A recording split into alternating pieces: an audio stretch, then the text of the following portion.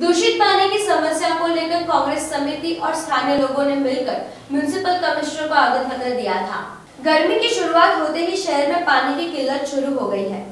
कई जगहों पर पीने का पानी नहीं आता तो वहीं पूर्व विस्तार में दूषित पानी आ रहा है।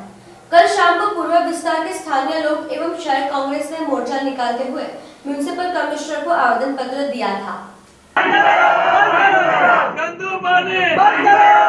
ચિરાગભાઈને સૌથી પહેલે આવાજ ઉઠાઈ ઇન્કવાયરી કરો છો. અમને ઇન્કવાયરી નહીં જો તમને ચોખ્ખું પાણી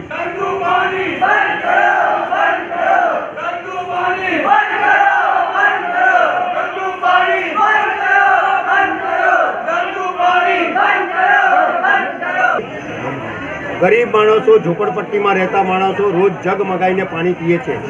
એક એક ઘરમાં સો સો રૂપિયાનું પાણી રોજનું જાય છે. રોજ જે અમે ફરિયાદ કરીએ છીએ તેમ છતાં કોઈની ઊંઘ ઉડતી નથી.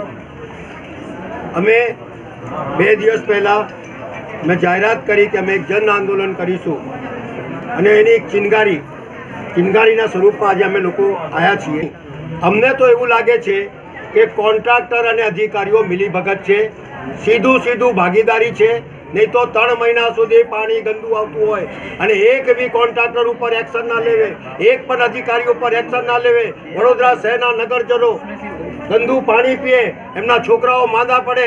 એમને કોઈ ચિંતા નથી. વડોદરા શહેરની અંદર દક્ષિણ અને દક્ષિણ અને પૂર્વ વિસ્તારમાં ગંદુ પાણી આવે છે.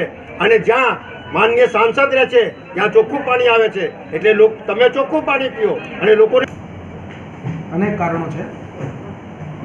પહેલી વહેલી વાત તો એ છે કે પાણીની અછત છે.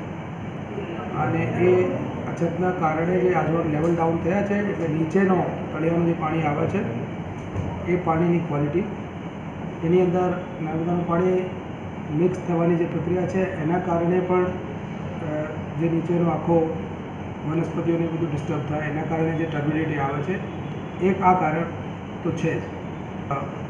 ત્રીજી જે સમસ્યા છે એ એ છે કે જ્યારે આપણે ટર્બિડિટીને ઓછી કરવા માટે કોઈ પણ ઉપાય કરીએ, ત્યારે સેડિમેન્ટ લોડ વધી જાય અને એ વધવાના કારણે ટાંકીઓ પણ વારંવાર એની અંદર પણ ખૂબ સેડિમેન્ટ લોડ વધી જાય છે તો એની સતત વારંવાર સફાઈ કરાવવી પડતી હોય છે અને જ્યારે એ ના થાય ત્યારે એ પ્રશ્ન વધી જતો હોય છે. બધા રાજકીય દળના લોકો, ચૂંટાયેલા પ્રતિનિધિઓ, તમામ લોકોએ રજૂઆત કરી છે. અમારા કેન્દ્ર સ્થાન ઉપર પણ જે એન્ડ કન્ઝ્યુમર છે, જે લોકો છે, એ જ છે.